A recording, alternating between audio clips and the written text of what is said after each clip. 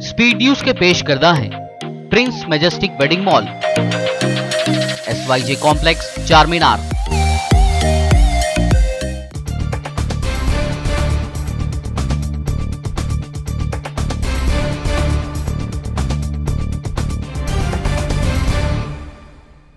Aslam आदाब। मैं मुखरीफ फरहाद। आइए देखते हैं 19 जनवरी की 25 अहम खबरें स्पीड न्यूज़ में।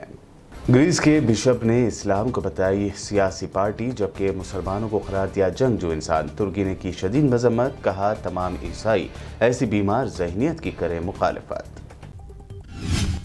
इजिप्ट की एक अदालत ने सबक मरहूम सदर मोहम्मद मुर्सी समेत इखवानमसलिमून के 89 लीडर्स के एसेट्स जब्त करके हुकूमत की तहवील में देने का जारी किया हुक्म।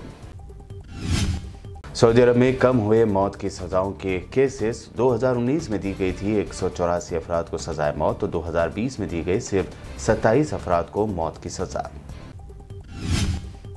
ईरान में टीवी प्रोग्राम के दौरान गेस्ट ने कोरोना कम होने पर जश्न मनाने और डांस करने की दी सलाह तो टीवी प्रोग्राम की होस्ट रोजिता को कर दिया गया सस्पेंड, होस्ट ने ही दूसरे दिन मांगी माफ़ी।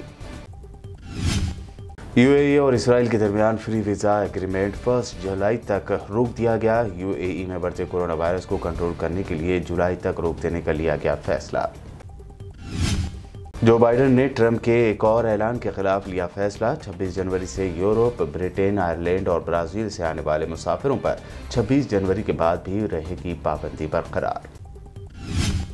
कोरोना वायरस वबा के दौरान फैले खौफ की वजह से तीन महीनों तक अमेरिका के शहर शिकागो में एयरपोर्ट में छुपा रहा भारतीय निजात शख्स आखिरकार हुआ गिरफ़्तार। महाराष्ट्र के चौंतीस डिस्ट्रिक्ट्स के 12,711 ग्राम पंचायत सीटों के रिज़ल्ट जारी। शिवसेना सबसे ज़्यादा 3,113 बीजेपी को 2,632 सीटें मिली। महाराष्ट्र ग्राम पंचायत इलेक्शन में एमआईएम को मिली तिरानवे सीट्स। एनसीपी को 2400 कांग्रेस को 1823 और एमएनएस को 36 सीटें। बंगाल में बढ़ती जा रही है ममता सरकार और बीजेपी के दरमियान कशीदगी। अब मिदनापुर ज़िले के एक इलाके में दोनों पार्टियों के कारकुनों में हुई झड़प, कई बीजेपी कारकुन हुए जख्मी। ममता बनर्जी ने बीजेपी को बताया नक्सलाइट से कहीं ज़्यादा खतरनाक। रैली से खिताब करते हुए बीजेपी पर आवाम से झूठ बोलने का लगाया इल्ज़ाम। सैफ अली खान की वेब सीरीज़ तांडव के खिलाफ मध्य प्रदेश सरकार भी करेगी शिकायत। अखिलेश यादव ने कहा, मुद्दों से भटकाने के लिए बीजेपी कर रही है तांडव की मुखालफत।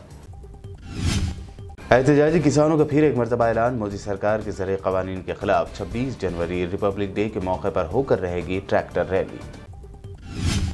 राहुल गांधी ने प्रेस कॉन्फ्रेंस करके ज़ाहिर किए किसानों को लेकर मोदी सरकार के खौफनाक प्लान्स कहा, सिर्फ़ तीन कानून पर नहीं रुकेंगे मोदी, किसानों को खत्म करके देश की खेती अपने चार अमीर दोस्तों के नाम कर देंगे। मोदी हुकूमत के ज़रिए खवारीन के खिलाफ तेलंगाना कांग्रेस ने दी, चलो राजभवन की कॉल। राजभवन का घेराव करने की कोशिश कर रहे कई कांग्रेसी लीडर्स को किया क्या गिरफ़्तार। कोरोना वैक्सीन का टीका लेकर बीमार पड़ रहे हैं लोग। मुंबई के बाद अब हैदराबाद में भी सामने आया एक केस। उपल के खातून को चक्कर, कै और कमज़ोरी होने पर गांधी हॉस्पिटल में किया गया एडमिट। कोरोना का टीका, कोवैक्सीन तैयार करने वाली हैदराबादी कंपनी भारत बायोटेक ने कहा, कमज़ोर इम्यूनिटी रखने वाले या जिन्हें एलर्जी होती है, ऐसे अफराद ना ले कोरोना का टीका। तेलंगाना में 25 जनवरी से स्कूलों को खोलने के लिए तैयार रहने का हुक्म। स्टूडेंट्स को अपने पेरेंट्स से रिटर्न परमिशन लेटर लाना होगा ज़रूरी। कोविड गाइडलाइंस पर स्कूल और हॉस्टल्स में अमल करना भी होगा लाजमी। तेलंगाना के जिला संगारेड्डी के जहराबाद में वाक़ उर्दू अदबी हॉल पिछले 25 सालों से अपनी ही तामीर व मरम्मत का कर रहा है इंतज़ार। उर्दू के तय गैर ज़िम्मेदारी और बेतवजही से उर्दू हल्के में नाराज़गी। कोरोना वबा के दौर में ज़रूरतमंदों का हर तरह से ताउन करने वाले हकीकी हीरो सोनू सूद ने अपने फ़ैन की जानब से उन्हीं के नाम पर शुरू की गई एंबुलेंस सर्विस का किया आगाज़।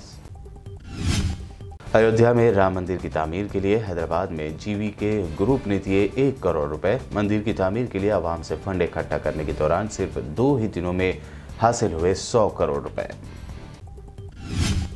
गुजरात के इलाके कच्छ में एक प्रोग्राम में राम मंदिर के लिए फंड इकट्ठा कर रही थी वीएचपी प्रोग्राम में लगाए गए मुतनाज़ जोरदार नारे, जिसकी वजह से दो फिरकों में हुआ टकराव। कई अफराद हुए जख्मी, पुलिस ने 40 लोगों को किया गिरफ़्तार। गुजरात के शहर सूरत में पेश आया दिलखराश हादसा, सड़क किनारे सो रहे राजस्थान के 22 माइग्रेंट्स मजदूरों को ट्रक ने कुचल दिया 15 मजदूरों की हुई मौत। टीम इंडिया ने बनाई तारीख। ब्रिस्बेन में ऑस्ट्रेलिया के 33 सालों की बादशाहत की खत्म। दो एक से जीती सीरीज़। पूरा देश टीम इंडिया की जीत का मना रहा है जश्न। ब्रिस्बेन टेस्ट की जीत में अहम रोल अदा करने वाले हैदराबादी बॉलर मोहम्मद सिराज ने साहब वालिद की मौत का गम। क्रिकेट शायकीन की सही गालियाँ। अब पूरा देश सिराज की कर रहा है तारीफ़। बीबीएन स्पीड न्यूज़ में ये थी आज दिन भर की अहम पच्चीस खबरें। यूट्यूब पर हमारे चैनल को सब्सक्राइब ज़रूर करें। मजीद दिलचस्प प्रोग्राम्स और न्यूज़ अपडेट्स के लिए बने रहिए हमारे साथ और देखते रहिए बीबीएन चैनल